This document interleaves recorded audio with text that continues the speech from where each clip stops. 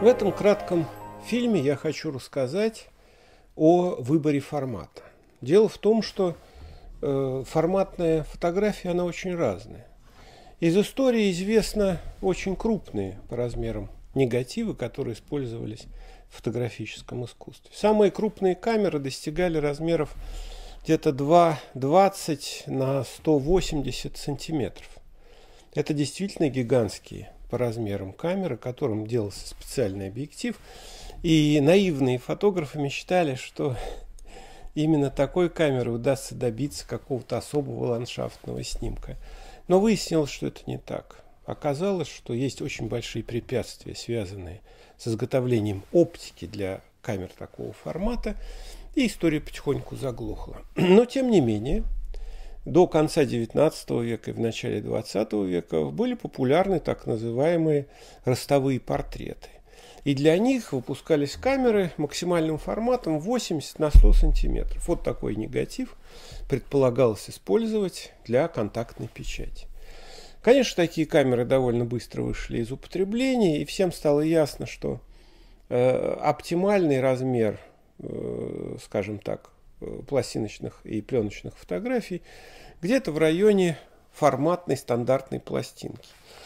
Стандартной пластинкой считается э, вот такая примерно пластинка, такая кассета, в которую заряжается пленка. Она в разных странах чуть-чуть различалась, но в конце концов становилась то, что называется 24 э, на 30 или 18 на 24 сантиметра. Это казалось самым оптимальным форматом. И для них выпускали и выпускают и стеклянные, и э, целлулоидные пластинки, то есть на пластиковой основе. Значит, таким образом выбор на самом деле существует, потому что долгое время э, установившимся форматом, максимальным для форматной фотографии, были камеры э, размером 50 на 60 сантиметров. Это максимальный формат, но это довольно неудобно.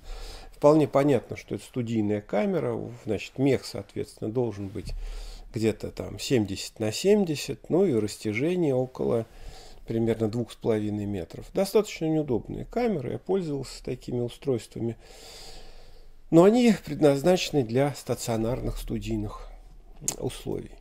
Намного живее было дело с камерами 30 на 40, и даже в советские времена советские производители выпускали камеры 30 на 40 и даже придавали им вид дорожных, то есть тех, которых можно как-то вдвоем перетащить. Для этих камер уже были кассеты, и кассеты довольно сложные, весь мир их делал. И вот перед нами как раз одна из самых лучших кассет такого типа, которая позволяет делать снимки э, желаемого формата 30 на 40 сантиметров. То есть это кассета, которая имеет так, так называемую сдвижку. То есть она имеет ползунок и специальный вкладыш. То есть здесь, приобретя такую камеру 30 на 40 сантиметров, можно снимать и 13 на 18 и 18 на 24, 24 на, 2, на 30 и 30 на 40 сантиметров. Вкладыши вот такие специальные позволяют это делать. Ну, понятно, что чем больше формат, тем к большим катастрофам приводит каждая ошибка, потому что снимать с ними сложно, законы действуют несколько иные, чем даже в узкопленочной или там хасельбладовском формате 6 на 6 сантиметров, то есть в полуформатном случае. Но тем не менее, Э, существуют дополнительные возможности у таких э, пластинок. С чем они связаны? Дело связано с тем, что есть объективы, которые кроют как раз такую пластинку, но имеют очень низкое разрешение. Это большая трагедия, потому что снимок практически увеличивать невозможно. Чем более тонкая и изысканная, продуманная с художественной стороны оптика, тем хуже ее техническое качество. То есть поставить объектив на цифровую матрицу, если бы она даже была такого размера, старинной, довольно сложно. Потому что он дает изображение крайне низкого качества. Оно художественное, оно там воздушное, оно тонко передает полутона. Но это изображение э, плоской, с нулевой поверхностью матрицей цифровой камеры не воспроизведется. Или воспроизведется очень плохо. То есть есть естественные технические ограничения, которые позволяют использовать старинные высокохудожественные объективы только с камерами, в которых используется достаточно толстая пленка или пластинки. Когда человек встает перед выбором э, занятий форматной фотографии, естественно, надо решиться, с чего начать. Не надо стремиться э, разыскивать, ремонтировать, покупать за очень большие деньги сразу крупноформатную камеру.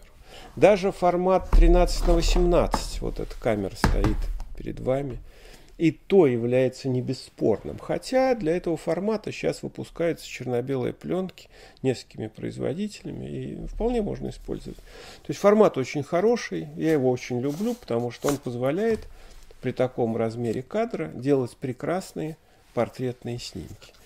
Но занимаясь, начиная заниматься форматной фотографией, лучше всего начать э, с простого, то есть небольшого размера пленки. То есть именно с пленки 4 на 5 дюймов или то, что раньше в Европе называлось 9 на 12 сантиметров.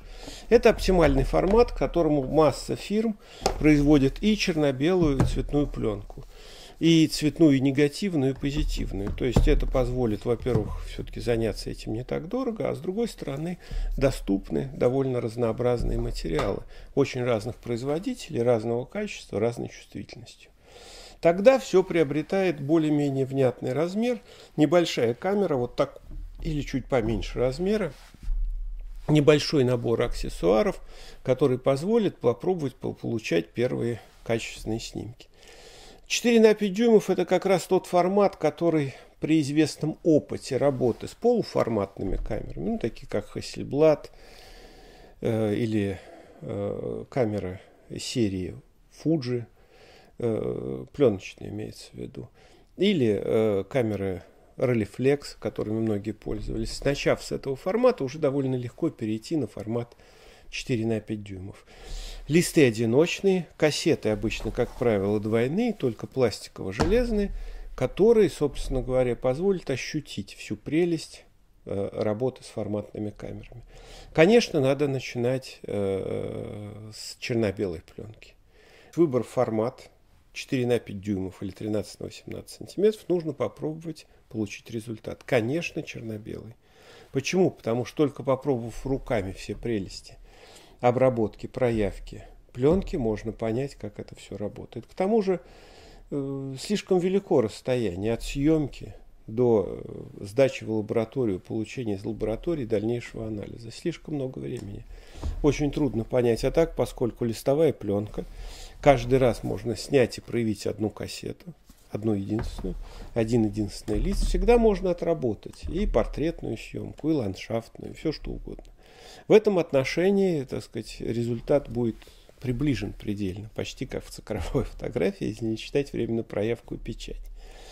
И тогда, э, почувствовав, как нравится, не нравится, получается, не получается с форматной фотографией, тогда решать, это ваше занятие или не ваше.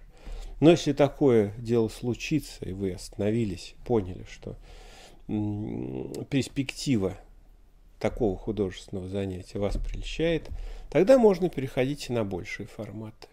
То есть у нас есть потенциале не только пленка и расходные материалы 4 на 5 дюймов, но и более крупноформатные.